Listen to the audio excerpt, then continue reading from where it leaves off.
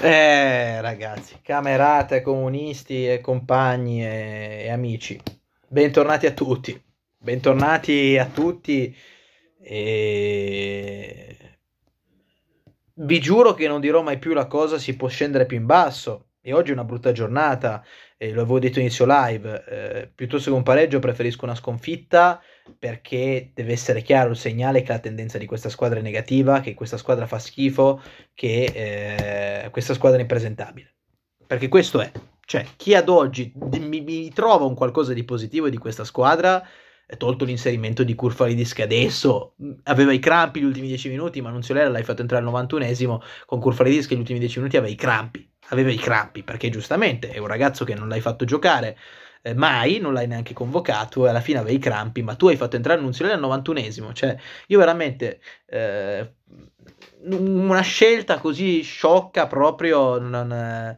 Eh, non perché Nunziolella debba essere cross, debba essere Barella, un fenomeno, ma perché voglio dire, è un ragazzo che corre, che si impegna e se c'è un ragazzo con i crampi non vedo perché non possa giocare 10-15 minuti Nunziolella. Vabbè, tolto questo. Tolto questo.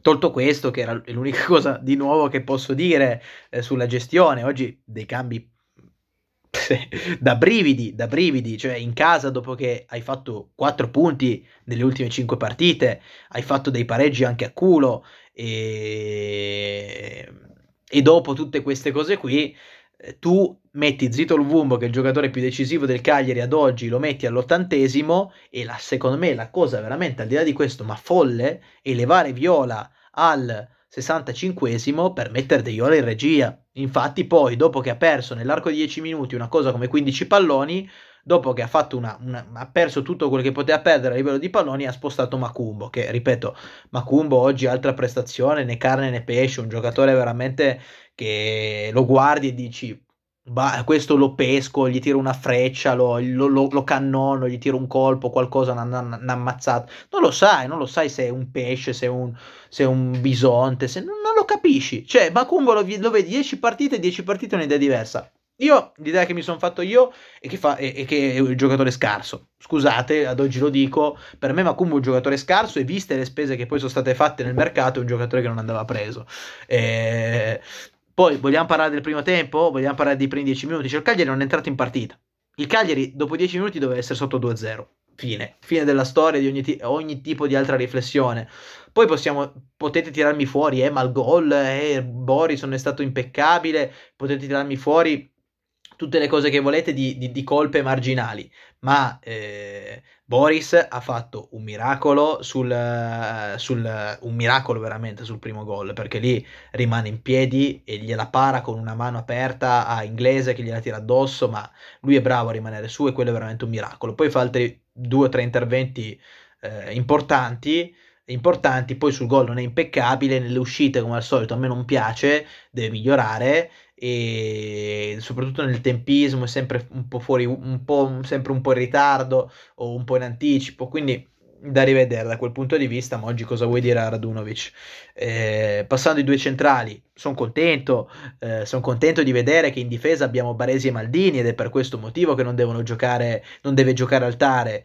Eh, ma io sono contento, sono contento, sono rassicurato nel vedere che oggi Capradossi ha fatto una partita incredibile, che eh, non si è mai perso inglese, che l'ha marcato sempre vicino, facendogli sentire la presenza, che non si è preso un tunnel dopo tre minuti, un tunnel clamoroso che ha spalancato un'autostrada davanti solo al portiere, salvo poi il miracolo di Radunovic. Ma io ripeto, contento, sono contento, eh, sono curioso oggi di vedere una partita che ad altare avrebbero giudicato con un'insufficienza, un'insufficienza gravissima con eh, tanto di commento arredato di attacchi eh, pesanti. Oggi sono curioso di vedere cosa ne sarà del voto di Capradossi che ha fatto secondo me una prima frazione, tolto un intervento, un primo tempo veramente Capradossi ha sbagliato di tutto, ha lisciato due o tre palloni, si è fatto fare quel tunnel, in marcatura è, era sempre lontanissimo da inglese. Veramente primo tempo poteva finire 3-0 per il Parma primo tempo terribile del Cagliari terribile. Secondo tempo un gol a culo ma io l'ho detto 5 minuti prima di, di, di fare il gol ho detto ragazzi per me finisce in pareggio e il Cagliari segna a culo. Ma perché Liverani è veramente un miracolato? Perché ragazzi eh, uno che ha queste idee eh, di calcio almeno quello che sembra è veramente un miracolato. Uno che ti mette fuori Carboni e ti mette fuori Zitto dopo che ti hanno fatto eh, pareggiare loro la partita prima dopo che loro sono dei giocatori in crescita sui quali dovresti puntare. Cioè, questo è, questo è Liverani. Uno che cambia 10.000 volte la formazione, ma andando a toccare delle cose stupide, i terzini, che se tu hai una sicurezza lì dovresti crederci. Io sono contento che non si sia data inizio un'alternanza a destra a Zappa di Pardo. Zappa, certo, lo vorrei vedere, lo vorrei vedere un po' più integrato. Non è integrato e giubilato ad oggi ma io non capisco perché c'è questa alternanza Carboni-Barreca. Cioè, Barreca, oh, allora oggi ha fatto una buona azione sul, nel primo tempo. Eh, nel primo tempo, dove salta di netto l'avversario e mette dentro il cross Nandes e per poco non segna. L'unica occasione che abbiamo avuto netta in, in praticamente quasi tutta la partita, mi viene da dire. Eh, perché poi nel secondo tempo sì abbiamo fatto qualcosa, un po' di inerzia, ma poca roba. E, e voglio dire, cioè. Eh, per il resto, il gol eh, non se lo prende, non se lo prende lui. Un giocatore che onestamente non mi pare dia nessun valore, valore aggiunto. Co- commentate voi, vi ripeto, Obert ha fatto una buona partita, mi è molto piaciuto, ha anche messo un bellissimo cross a un certo punto e per poco non facevamo gol. Macumbo, ve l'ho già detto, Viola non mi ha fatto impazzire, ma per me rispetto a De Iola e rispetto a Macumbo è di un altro livello. E Curfalidis effettivamente ne parlavano all'intervallo, era forse un po' spaesato, ma a me è parso quello che ha messo più intensità, più corsa, più grinta. È l'ottantesimo avere i crampi, è l'ottantesimo dovevi toglierlo. Eh, non, eh, cioè, che cosa speri lasciandolo 10 minuti in più? È un ragazzo che ha i crampi perché non ce la fa più fisicamente. Anche lì, ragazzi, aspe- date a Curfalidis 10 partite come agli altri per macinare minuti. Dategli 10 partite a Curfalidis. Vedete che cazzo di giocatore che diventa. Lo vedete già adesso che giocatore che è. Che è un giocatore che c'è, che si sente, che si fa sentire. Non è un giocatore mm, che passa per caso a Cagliari. E io l'ho detto, e io l'ho detto, mentre voi, mentre voi, mentre voi, e qua veramente mentre voi molto in grande ve la prendevate con Altare. Ecco, poi vabbè, Pavoletti non può giocare titolare, eh, perché al di là del gol che vabbè non lo considero perché Cicizzola fa una cosa indescrivibile, eh, non può giocare. La Padula troppe volte in fuorigioco, ma ci ha messo, ci ha provato. Io vi devo dire, non me la sento di prendermela con, con la Padula. Nandez, ecco, oggi ha giocato secondo me meglio del solito. L'ho visto veramente un po' dappertutto, un po' dappertutto e e mi è piaciuto un po' di più.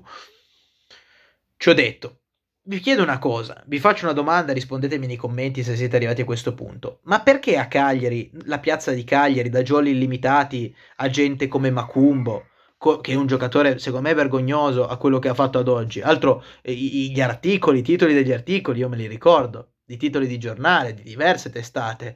Macumbo si prende il, il, centrocampo del Cagliari, un giocatore che aveva, fatto, aveva anticipato la preparazione, che era molto più avanti degli altri, per quello che era devastante fisicamente rispetto agli altri. Correva al doppio, era più avanti la preparazione, ci credo.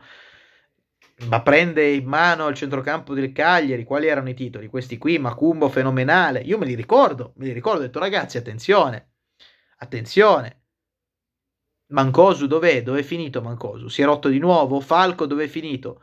Chi è che aveva alzato questi dubbi? Ritorniamo alla domanda. La domanda è: ma perché a gente come Macumbo, come Barreca, eh, come, come a questo anche Pavoletti, che voglio dire, io gli voglio bene dell'anima, ma è veramente poca roba. Perché gli si danno veramente dei jolly completi e perché ad, totali una quantità di jolly infiniti e perché ad altare per un errore massacrato, riempito di merda, di fango? Io adesso chiudo questo video, chiudo questo video e vado a scrivere ad altare con i cuoricini, ok? Vergognatevi.